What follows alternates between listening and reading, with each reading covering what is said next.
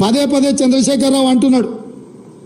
కాంగ్రెస్ అధికారంలోకి రాగానే మేము ప్రాజెక్టులను కేంద్ర ప్రభుత్వానికి మేము స్వాధీనం చేసినాం. దీనికి పూర్తిగా బాధ్యత ఈరోజు కాంగ్రెస్ ప్రభుత్వం బాధ్యత వహించాలి. దాంట్లో భాగంగానే మేము ప్రజా ఉద్యమాలు చేస్తామని మాట్లాడుతున్నారు. నువ్వు ప్రజా ఉద్యమాలు చేయడానికి ప్రజల దగ్గరకు పోతే చెప్పు తీసుకొని కొడతారు. ఎందుకు అని అంటే మొత్తం పాపాల బైరోడివే నువ్వు. మొత్తం ఇంత కట్ట కాగితాలు ఉన్నాయి. ఈడ ఇంకా చాలునే కొన్ని మన క్రోడీకరించి కొన్ని తెచ్చిన. అదేవిధంగా మేము వచ్చిన తర్వాత జరిగిన మీటింగ్లో స్పష్టంగా మేము ప్రాజెక్టులు మాకు నీటి కేటాయింపులు పూర్తిగా యాభై శాతం నీళ్ళు కేటాయించి మా హక్కులు మొత్తం మాకు నికర జలాలు కేటాయించినాకనే ప్రాజెక్టులను హ్యాండ్ ఓవర్ చేశాయని చర్చ జరుగుద్ది. లేకపోతే దానికి ఒప్పుకునేదే లేదని మా అధికారులు స్పష్టంగా చెప్పారు ఇదే కాదు షెకావత్ దగ్గరికి నేను ఉత్తమ్ కుమార్ రెడ్డి గారు జాతీయ ప్రాజెక్టుల కోసం పోయినప్పుడు చర్చ వస్తే కూడా స్పష్టంగా చెప్పినాం. కృష్ణా నది మీద గోదావరి నది మీద తెలంగాణ రాష్ట్రానికి రావాల్సిన నీటి కేటాయింపుల మీద స్పష్టత వచ్చినాకనే ప్రాజెక్టులను అప్పజెప్తాము. అప్పటి వరకు ఈ ప్రాజెక్టులను అప్పజెప్పడం అనే చర్చ అసంపూర్తి చర్చ ఈ చర్చలు జరిగినా ప్రయోజనం లేదు. శాశ్వతంగా అన్ని సమస్యల్ని పరిష్కరించండి. ఇదే కాదు మహారాష్ట్ర కృష్ణాలో ఉన్న కృష్ణానది మీద ఉన్న ప్రాజెక్టులను కూడా బోర్డు పరిధిలోకి పట్టుకరండి. తెలంగాణను తీసుకొచ్చి ఆంధ్రప్రదేశ్ తెచ్చి కర్ణాటకను వదిలితే కర్ణాటక మాకు వదలాల్సిన నీళ్ళు వదలకపోతే అడిగేవాడే లేడు కాబట్టి కృష్ణానది మహారాష్ట్రలో పుట్టిన కాడ నుంచి ఆంధ్రప్రదేశ్లో సముద్రంలో కలిసే వరకు ఉన్న అన్ని ప్రాజెక్టులను బోర్డు పరిధిలోకి పట్టుకొచ్చినప్పుడు సరైన న్యాయం జరుగుద్దని చెప్పి నేను ఉత్తమ్ కుమార్ రెడ్డి గారు జలశక్తి మంత్రి షెకావత్ గారికి చెప్పడం జరిగింది. అదేవిధంగా వాళ్ళు తప్పుడు మీటింగ్ మినిట్స్ రాస్తే స్పష్టంగా ఇరవై ఏడు ఒకటి రెండు వేల ఇరవై నాలుగు నాడు రాహుల్ బొజ్జా వాళ్ళు రాసిన మీటింగ్ మినిట్స్ మీద ఉత్తమ్ కుమార్ రెడ్డి గారి అనుమతితోటి స్పష్టంగా మీరు రాసిన మీటింగ్ మినిట్స్ను మేము అభ్యంతర పెడుతున్నాము. And the proposal of handing over of ఎడ్వర్క్స్ to KRMB members of Telangana stated that they they will discuss the matter with the government and communicate its views but the same was recorded as Telangana had agreed to hand over the components, which is not correct. This part of minutes need to be amended accordingly. స్పష్టంగా మీరు తప్పుడు meeting minutes మేము మాట్లాడింది ఒకటి మీరు చేసింది ఒకటి మీరు చేసింది తప్పు మీ తప్పుడు మీటింగ్ మినిట్స్ మేము ఒప్పుకుంటలేము. వాటిని పూర్తిగా మీరు మార్చండి అని ఇరవై ఏడు జనవరి నాడు మళ్ళీ మా ప్రభుత్వం స్పష్టంగా లేఖ రాసింది కేంద్ర ప్రభుత్వానికి. ఇరిగేషన్ సెక్రటరీ స్పష్టంగా ఉత్తమ్ కుమార్ రెడ్డి గారి నా అనుమతితోటి రాసిన లేఖ. స్పష్టంగా తెలంగాణ వాటా. నీళ్ళు తెలంగాణ ప్రాజెక్టుల మీద హక్కులు మేము కొట్లాడి మేము సాధించాలనే ప్రయత్నం చేస్తుంటే ఈరోజు అధికారం కోల్పోయిన నిస్పృహతో దిక్కుమాలిన ఆలోచనతోటి ఇంట్లో నుంచి బయటకు వెళ్ళడానికి మొహం జల్లక ఏదో ఒక ఒక్కతోని బయటికి రావాలని మామ అల్లుళ్ళు ఈరోజు కుట్ర చేస్తురు నేను సూటికి ఒక్క మాట అడగదలుచుకున్న చంద్రశేఖరరావు నీకు ఏమాత్రం సిగ్గున ఒక్క మాటకు సమాధానం చెప్పు. ఇక్కడ ఎన్నికల రోజు పోలింగ్ రోజు పొద్దున్నే నాగార్జున సాగర్ భూభాగం మొత్తం తెలంగాణలో ఉంది. నాగార్జున సాగర్ ప్రాజెక్టు కంప్లీట్గా తెలంగాణ స్వాధీనంలో ఉంది.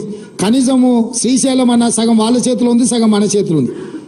జగన్మోహన్ రెడ్డి పోలీసులు తుపాకులు వేసుకొని నాగార్జున సాగర్ డ్యామ్ మీదకి వచ్చి ప్రాజెక్టును హ్యాండ్ ఓవర్ చేసుకోరు ఈ సన్నాసి రండా జగన్మోహన్ రెడ్డి తెలంగాణలోకి వచ్చి నాగార్జున సాగర్ ప్రాజెక్టును ఆక్రమించుకుంటే నోట్లకెళ్ళి మాట వెళ్ళలేదు రండ పనులు చేసింది లొంగిపోయింది నువ్వు చంద్రశేఖరరావు. నువ్వు రండగాడి కాబట్టి జగన్మోహన్ రెడ్డి వచ్చి నాగార్జున సాగర్ మీద తుపాకులు పెట్టి ప్రాజెక్టును హ్యాండ్ ఓవర్ చేసుకుండు. అదే కాంగ్రెస్ అధికారంలో ఉన్నప్పుడు వచ్చి చూడమను. ఇవాళ రమ్మను వచ్చి నాగార్జున సాగర్ మీదకి రమ్మను జగన్మోహన్ రెడ్డిని.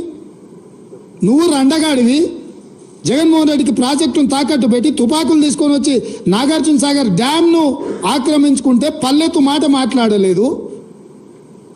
నువ్వు పోయి కేంద్ర ప్రభుత్వానికి ప్రాజెక్టులను హ్యాండ్ ఓవర్ చేయడానికి నిధులను కేటాయించినోడు నువ్వు. నువ్వు వచ్చి మా మమ్మల్ని బదనాం చేస్తావా? మా మీద మాట్లాడతావా? వాస్తవాలు ఇట్లుంటే అబద్ధాలతోని అధికారం కోల్పోయిన నిరాశ నిస్పృహలతోటి ఈరోజు మమ్మల్ని బదనాం చేసే కార్యక్రమం పెట్టిను అందుకే నేను సూటిగా ఈ ఆధారాలు మీ ముందర చెప్పి మీ ముందర మాట్లాడితే రేవంత్ రెడ్డి సెక్రటేరియట్లో సమావేశం పెట్టి చాలా మాట్లాడిండు. ఆయన కథ ఏంది? ఆయన కమామిస్ ఏంది? అని ఆయన మాట్లాడతాడు. అందుకే నేను సూటిగా ఈరోజు మంత్రివర్గ సమావేశం అవుతుంది. అసెంబ్లీ సమావేశాలు ఎప్పటి నుంచి ఉంటాయో సాయంత్రం వరకు మీకు చెప్తాము. అసెంబ్లీ సమావేశాలల్లా వైట్ పేపర్ ప్రాజెక్టుల మీద రిలీజ్ చేస్తాం. ప్రాజెక్టు ల్యాండ్ ఓవర్ మీద చర్చ పెడతాం. నలభై ఎనిమిది గంటలు నువ్వు కోరుకుంటే ఇంకెక్కువ కావాలన్నా తలుపులు మూద్దాం. భోజనాలు అక్కడనే పెడదాం. బట్టలు తెచ్చుకో. మేము వస్తాం. మామ అల్లుడు మీరు ఇద్దరు రాండి.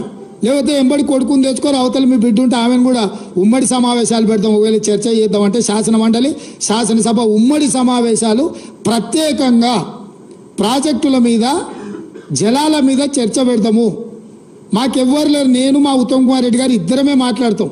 సంబంధిత శాఖ మంత్రిగా వారు మాట్లాడతారు ముఖ్యమంత్రిగా నేను మాట్లాడతా. చంద్రశేఖరరావు హరీష్ రావు తారక రామారావు కవితారావు. నలుగురు మీరు ఒకరి తర్వాత ఒకరు అలచిపోకుంటే ఎంతసేపు అయినా మాట్లాడదాం చర్చ చేద్దాం. నీకు చిత్తశుద్ధి ఉంటే నీకు నిజాయితీ ఉంటే ఈ చర్చలకు రాకుండా ముఖం చాటేయకు చంద్రశేఖరరావు. నీకు నిజంగానే నిజాయితీ ఉంటే నీ పదేళ్ళ పరిపాలనలో తెలంగాణ ప్రాంతాన్ని ఎడారిగా ఉన్న తెలంగాణ ప్రాంతాన్ని సస్యశ్యామలం చేయడానికి పచ్చని పైర్లు పంటలు పండడానికి నువ్వు కృషి చేస్తే పూర్తిగా నదీ జలాల మీద సాగునీటి ప్రాజెక్టుల మీద చర్చ చేద్దాము. చర్చ జరిగినంతసేపు నువ్వు కూర్చోవాలి. నువ్వు మాట్లాడినంతసేపు ఎంతసేపు అయినా మాట్లాడు నువ్వు నీకు అనుమతిస్తాము. నిన్ను అభ్యంతర పెట్టము. నువ్వు నీ అల్లుడు ఎందుకంటే ఐదేళ్ళు ఆయన మంత్రి ఐదేళ్ళు ఈయన మంత్రి సాగునీటి ప్రాజెక్టు. ఐదేళ్ళు ఈయన ముఖ్యమంత్రి పదేళ్ళు ఈయన ముఖ్యమంత్రి ఐదేళ్ళు ఆయన ఆర్థిక మంత్రి. వ్యవహారం అంతా మామ అల్లుల మధ్యలోనే జరిగింది.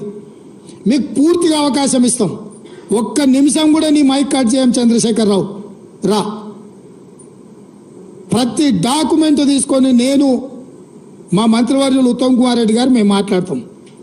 వాస్తవాలను ప్రజలకు చెప్దాం ఎవడు ద్రోహి ఎవడు దొంగ ఎవడు లొంగిండు ఎవడు వంగిండు ఎవడు ప్రాజెక్టులను తాకట్టు పెట్టిండు ఎవడు ముఖ్యమంత్రి ఉన్నప్పుడు ఈ తెలంగాణకు అత్యంత ద్రోహం జరిగింది. ఉమ్మడి రాష్ట్రంలో జరిగిన అన్యాయానికంటే అరవై ఏళ్ళు ఉమ్మడి రాష్ట్రంలో జరిగిన పరిపాలనలో జరిగిన నష్టానికంటే చంద్రశేఖరరావు ముఖ్యమంత్రి అయిన పదేళ్ళలోనే కృష్ణానది జలాలలో తెలంగాణకు తీరని అన్యాయం జరిగింది నేను నిర్దిష్టమైన ఆరోపణ చేస్తున్నా. పోతిరెడ్డిపాడైనా రాయలసీమ లిఫ్ట్ అయినా ముచ్చుమరి ప్రాజెక్ట్ అయినా.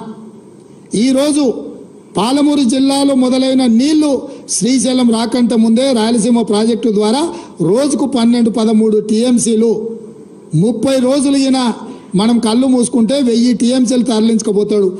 తాగడానికి కాదు కదా బురద బురద ఎక్కడానికి కూడా శ్రీశైలం దొరకదు. ఇంకా ఈ మొనగాడు పొడిచింది ఎంతనే అని అంటే మొత్తం ప్రాజెక్టులు one and half TMC two TMC అన్నాడు పాలమూరు రంగారెడ్డి అది ఒక టీఎంసీకి తగ్గించిండు. అర TMC Kalwakurthy quarter TMC SLBC. అన్నీ కలిపితే రోజుకు రెండు టీఎంసీలు కూడా మనం తెచ్చుకునే పరిస్థితి లేదు ఈరోజు. పాలమూరు రంగారెడ్డి కల్వకుర్తి ఎస్ఎల్బిసి అన్ని ప్రాజెక్టులు లెక్కగట్టి నిజంగా అవి పూర్తి చేసి నూటికి నూరు శాతం ఆ నీళ్ళు మనం ఒకవేళ తెచ్చుకుంటే శ్రీశైలం కంటే ముందుగాల మనం తీసుకోగలిగిన నీళ్ళు బిలో టూ టీఎంసీ వాళ్ళు పర్ డే థర్టీన్ టీఎంసీ మన ఉమ్మడి ప్రాజెక్టులు మన దగ్గరికి రావాల్సిన పని లేదు. వాడు ధైర్యంగా మన దగ్గరకు వచ్చి మన ప్రాజెక్టును స్వాధీనం చేస్తున్నాం అవతల ఇప్పుడు పోతిరెడ్డి పాడో లేకపోతే రాయలసీమనో ముచ్చుమారి దగ్గరికి మనం పోయి ఆపగలుగుతామా? పన్నెండు పదమూడు టీఎంసీలు పర్ డే తరలించకపోతే వారం రోజులు చూసి చూడనట్టుంటే పాయ్ వంద టీఎంసీల నీళ్ళు మాయమైపోతే వంద టీఎంసీల నీళ్ళు పోయినాక ఏం బురదమెక్తావా ఇవాళ అవతలున్న ప్రాజెక్టులు ఎట్లా పాలనో చెప్పమని చంద్రశేఖరరావును. పదేళ్ళు గాడిదలు కాసిండా చంద్రశేఖరరావు. పన్నెండు పదమూడు టీఎంసీల నీళ్ళు తరలించకపోవడానికి ప్రాజెక్టులు జగన్మోహన్ రెడ్డి కడుతుంటే చంద్రబాబు నాయుడు కడుతుంటే అడ్డుకోవాల్సింది కేసులు వేయాల్సింది ధర్నాలు చేయాల్సింది నిరసన తెలపాల్సింది జంతర్ మంతర్లో ఆమరణ నిరాహార చేయాల్సింది వదిలేసి కేంద్ర ప్రభుత్వానికి ఫిర్యాదు చేసి ప్రాజెక్టులను ఆపించే పని చేయకుండా ప్రగతి భవన్లో లేకపోతే ఫామ్ హౌస్లో వండుకొని ఇవాళ ఆయన నల్గొండ జిల్లాకు పోయి నిరసన తెస్తాడంట. నల్గొండ జిల్లాకు నిరసన కంటే ముందు అసెంబ్లీకి రా. అసెంబ్లీలో చర్చ చేద్దాం. ఇవన్నీ ప్రజలకు చెప్దాం. తారీఖులతో సహా ఏ ఏ రోజు ఏ ప్రాజెక్టులు మొదలైనవి ఏ ప్రాజెక్టులు పూర్తయినాయి ఎవడు ద్రోహి ఎవడు తెలంగాణను ముంచింటూ ఎవడు తెలంగాణ ప్రజల్ని వంచిండో నూటికి నూరు శాతము ప్రజలకు వివరిద్దాము. నేను మళ్ళీ సూటిగా చంద్రశేఖరరావుకు సవాల్ విసురుతున్నా. రేపు రాబోయే బడ్జెట్ సమావేశాలలో రెండు రోజులు వైట్ పేపర్తో సహా ప్రాజెక్టుల మీద స్వాధీనం చేసే విషయాల మీద చర్చ చేద్దాము. రెండు రోజులు సరిపోలేదంటే అదనంగా కూడా చర్చ పెడదాము. చర్చ పూర్తయ్యే వరకు నువ్వు అసెంబ్లీలో కూర్చోవాలి. కాలు నొప్పి కంటి నొప్పి పంటి నొప్పి అని ఇంట్లో వండుకొని నువ్వు నాటకాలు వేస్తే నీ నాటకాలను ప్రజలు గమనిస్తలేరు అనుకోకు చంద్రశేఖరరావు. నీకు ఆడ నొప్పి లేస్తుందో మాకు తెలుసు. అధికారం పోయిన తర్వాత నీ నొప్పి ఆడలేస్తుందో తెలంగాణ ప్రజలకు తెలుసు. కాబట్టి వీటన్నిటిని దృష్టిలో పెట్టుకొని ప్రజల్ని కేసీఆర్ మళ్ళీ గందరగోళపరిచి మోసం చేయాలని నాటకాలు ఆడుతుండ్రు. నిన్నమన్న కొడుకు అల్లుడు బిడ్డ మాట్లాడారు. చిన్నగా చూస్తున్నాడు చిన్నగా రంగంలోకి ఎట్లొస్తే బాగుంటుందని. నువ్వు రావాలి చర్చ చేయాలి మేము సిద్ధంగా ఉన్నామని చెప్పి మీ ద్వారా చంద్రశేఖరరావుకు తెలియజేస్తున్నాం.